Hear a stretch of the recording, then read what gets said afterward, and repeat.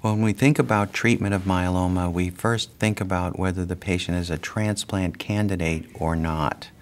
Uh, if the person is a transplant candidate by virtue of age and has adequate liver, heart, lung, and kidney function, we think nowadays of using combinations of novel agents as the initial treatment, bortezomib, lenalidomide, and dexamethasone either as a two or three drug combination is very commonly used nowadays. And in fact, the three drugs used together uh, achieves a response in all new patients uh, with myeloma, and three quarters of them getting a very good partial, and half of them getting a complete response. After this induction therapy in the transplant candidates, patients then proceed to get high dose melphalan, an autologous stem cell transplant. And now what's being uh, uh, explored in myeloma is the use of these same novel agents uh, to consolidate the response to transplant and also to maintain it. So, for example, lenalidomide has been used to consolidate or increase the depth of response or extent of response to a transplant, and also to maintain the time without active myeloma that you achieve after a transplant. So in a transplant candidate, novel therapies now need to be used initially as part of the transplant itself and then potentially to maintain the response.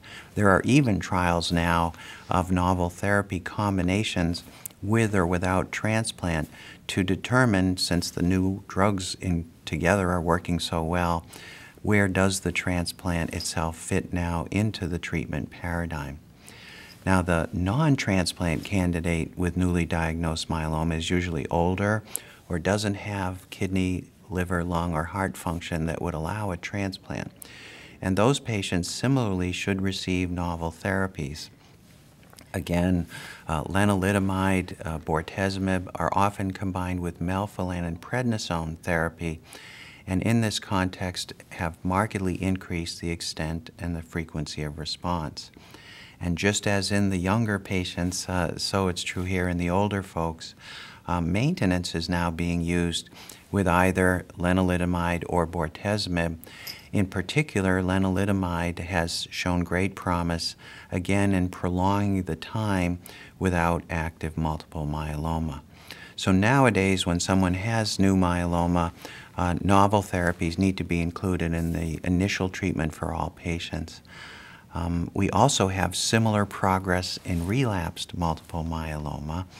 Uh, there, we have approved agents such as lenalidomide, dexamethasone, bortezomib, and bortezomib Doxil therapy all of them can achieve responses in patients with relapsed multiple myeloma and therefore are FDA approved for purpose of treatment in this setting.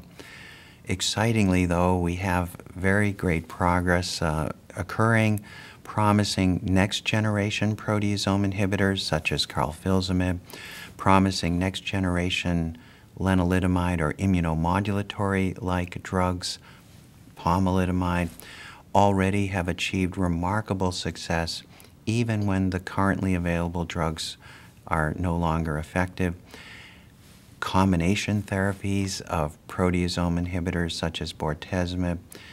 Examples include bortezomib and the AKT inhibitor perifosine, or bortezomib and the histone deacetylase inhibitors, either panobinostat or vorinostat are achieving remarkable responses even when bortezomib is no longer effective.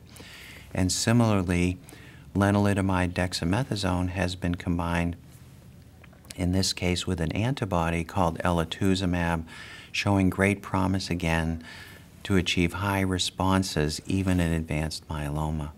So the real take-home message for patients and caregivers alike is that with the advent of novel therapies, it's a new world in myeloma. Uh, there is the promise and hope for uh, achieving in a majority of patients a chronic disease state in myeloma.